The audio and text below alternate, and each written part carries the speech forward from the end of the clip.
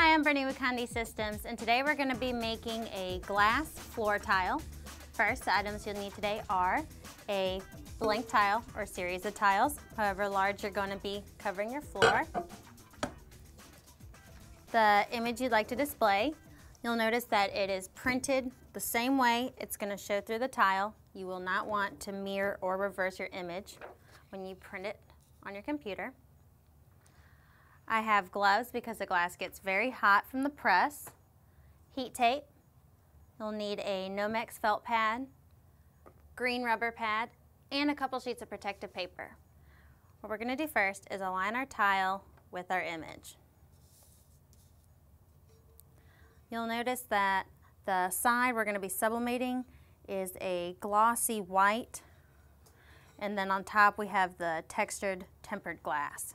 So I'll put the white side directly on top of my image and secure it down with heat tape. Place a couple pieces of heat tape on the tile.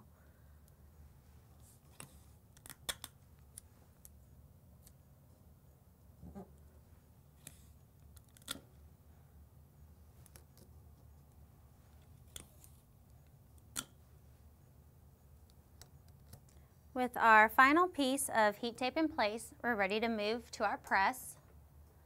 You want to be sure to adjust your pressure ahead of time with the glass tile, felt pad, and rubber pad because that will change your pressure greatly on your press. You'll place your felt pad first. Take a sheet of protective paper, place that over the felt.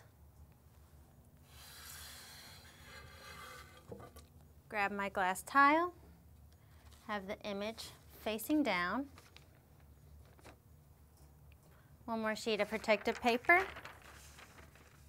and the last thing we'll place is our green rubber pad. You'll want to be sure to check out Conde's website for our instructions on how to press your glass tiles. They do change as our products and equipment change. And today I'm using Conde's instructions. Glass does take a while. One of the great things about the glass floor tiles is they use tempered glass, so if they should break, they're not going to have any sharp edges. You'll notice that when you're doing your floor, if you have certain pieces that aren't going to fit a whole tile, you'll need to use a different type of glass that can be cut. You'll be sure to call your Conde agent and they'll be able to help you get those tiles you need so you can cut them and make your floor look great. And that sound means we're done. So I'll lift and swing away my press.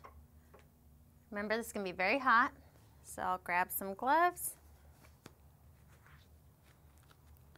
We'll want to be sure to remove our transfer right away and then allow enough time for our glass to cool.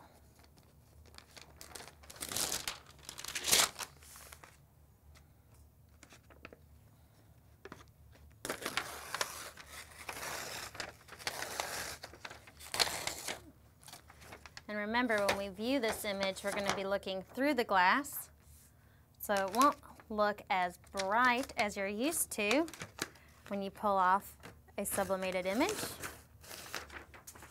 because it's going to be on the exact opposite side. And that turned out really well. Let it cool on the table and that should be complete. I've given enough time for my glass tile to cool and while I was waiting, I grabbed another tile just to give you ideas of the different images you can use. Again, you'll want to be sure to call your Conde representative and they'll be able to help you with doing corners for a certain sized room and also how to lay your glass tile.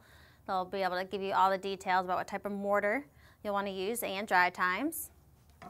This is a great product. It's a very great creative use of space and it will look great in your home or office. Be sure to visit us at conde.com for all of our press instructions, your time, temperature, and pressure. They do change as our products and equipment change. You'll also want to see our full line of great services and products we offer at conde.com. Be sure to watch more of my videos at condetv.com. I'm Brittany Conde Systems, and thank you for joining us.